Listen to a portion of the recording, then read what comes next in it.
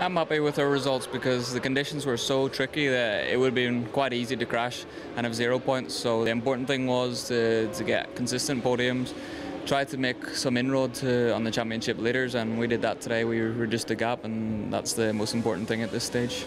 Well, it's clear that the gap is still big. 36 points is, is still a lot, so I need to win races and finish in the podium. I can't afford any more non-finishes because we've had too many already. I want to be a world champion, same as the start of the year, and it's still realistic, but I need to do 100% and finish all the races from here.